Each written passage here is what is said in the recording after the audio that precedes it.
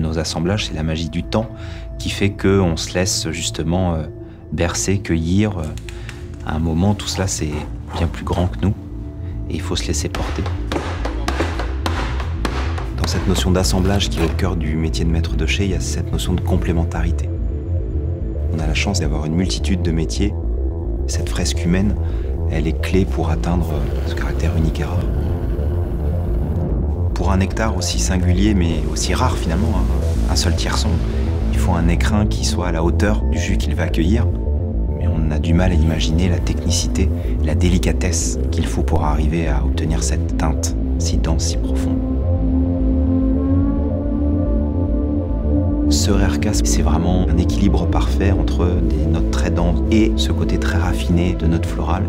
Toutes ces notes aromatiques se marient parfaitement. C'est magnifique. Super. Ouais,